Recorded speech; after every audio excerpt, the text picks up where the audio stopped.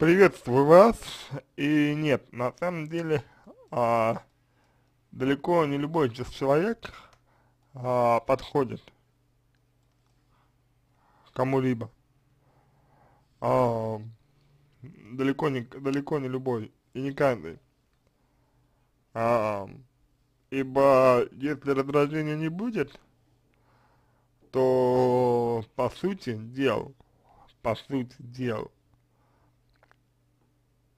а, не обязательно, что будет что-то еще. То есть не обязательно будет какое-то, а, знаете, положительное, а, ну, положительное какое-то чувство. Совсем не обязательно, что оно будет иметь место быть. Вот. Поэтому а, тот факт, что у вас а, не будет раздражения, еще не говорит о том, что а, вам человек подойдет. Помимо этого, помимо того, что, ну вот, помимо того, что нет а, раздражения, да, то есть, а, ну, человек не вызывает негативных эмоций, помимо этого, а еще должно быть э, все-таки какая должно быть такое чувство, как симпатия, да, э, и так далее. Если симпатии нет, то даже если э, не будет раздражения, то, соответственно, э, все равно вам, вам человек не подойдет, потому что ведь у вас, у вас ведь есть особенности какие-то, у вас есть индивидуальные черты, у вас есть свои, так скажем, э, ну, предпочтения во, во всех э, сферах. И далеко не у каждого человека э, эти предпочтения совпадают и могут э, совпадать. Вот.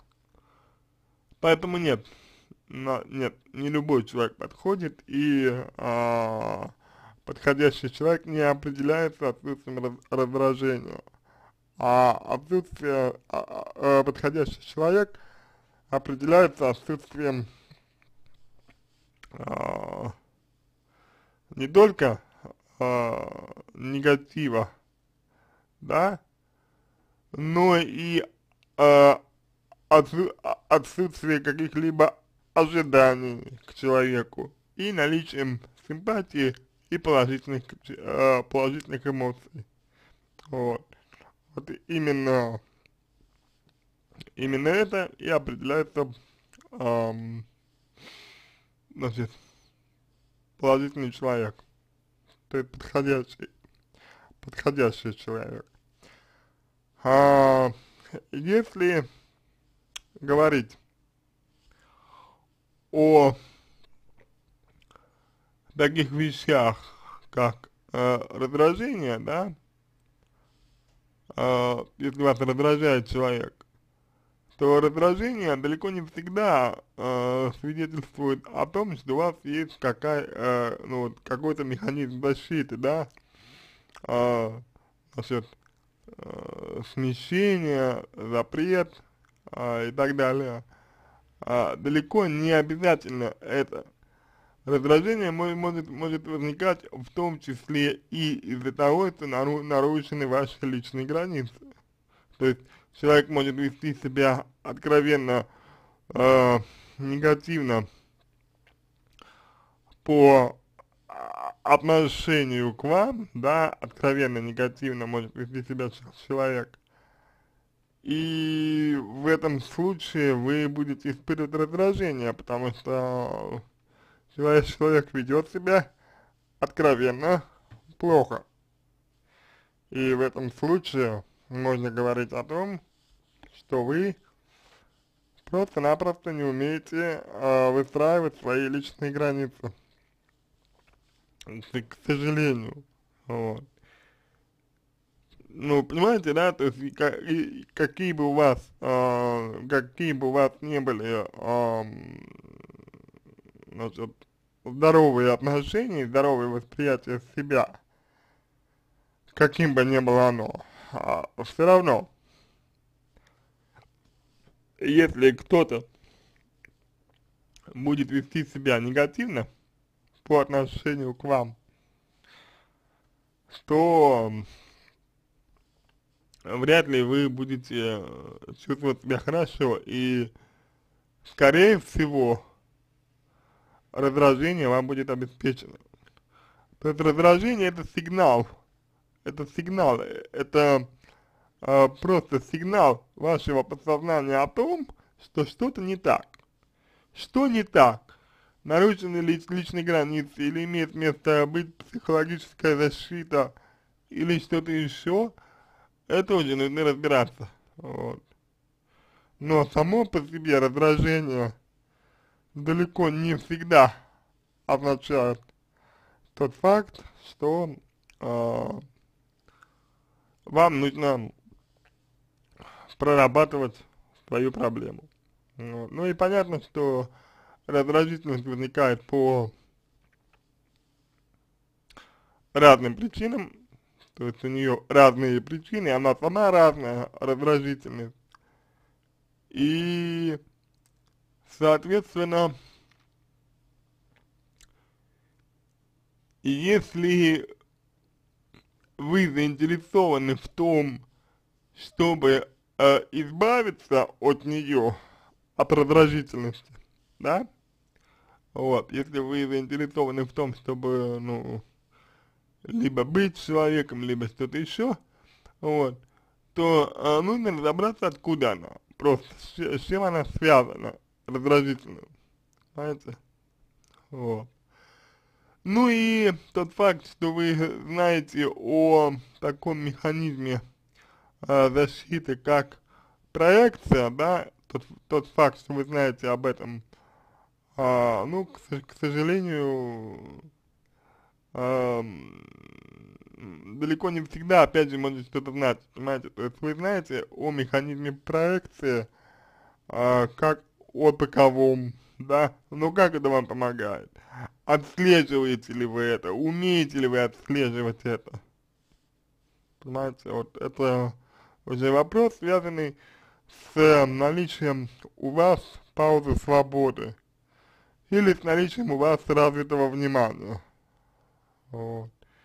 И, конечно, данный, данный аспект э, можно усилить, можно, э, ну, значит, подчинить себе, э, сделав его подконтрольным вам. Вот. С другой стороны, э, может быть, вы имели в виду, э, то есть что вы имели в виду, говоря, например, о том, что любой человек подходит? Что вы, и что вы именно имели в виду?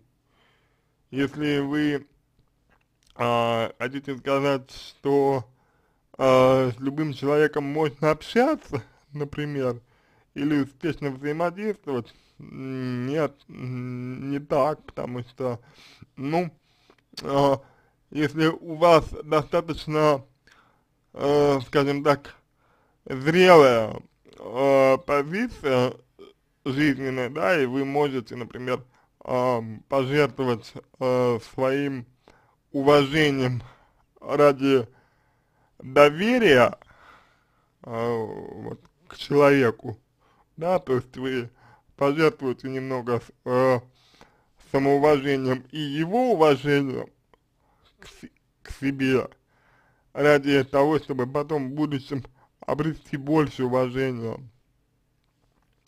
э, опять же, к себе. Это одно, это хорошо.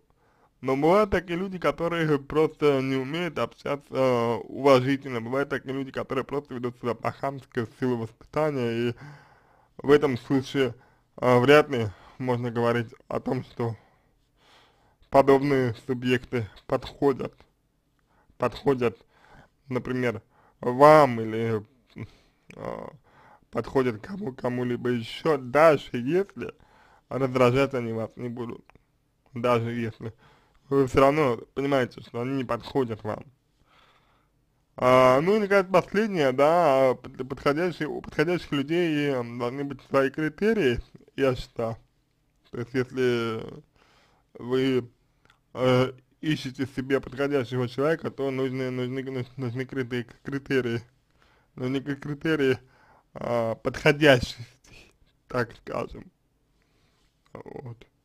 Но это тоже, тоже, опять же, отдельная тема для разговора, то есть э, критерии подходящести, они вытекают из того, для чего вам человек, человек нужен, какие у вас ценности и так далее, предпочтения, там, там, вот, какие у вас взгляды, вот, социальные, семейные, культурные ценности и так, и, и так далее, и тому подобное.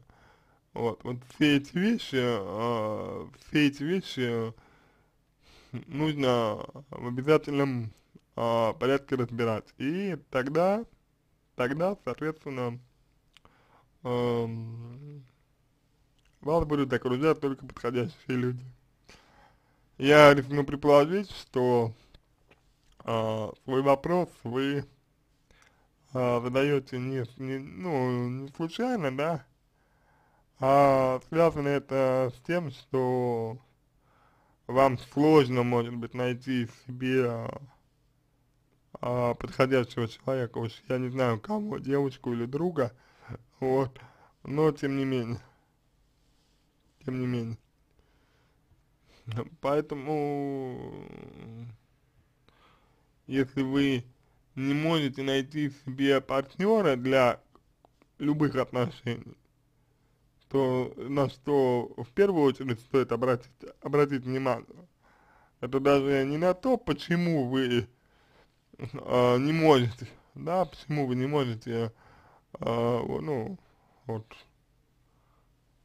встретить того партнера, который нужен вам. Даже не на это стоит обращать внимание, а обращать внимание стоит на свои критерии на свои э, требования э, к партнеру, да, вот и так далее. Вот это, на мой взгляд, является э, самым главным.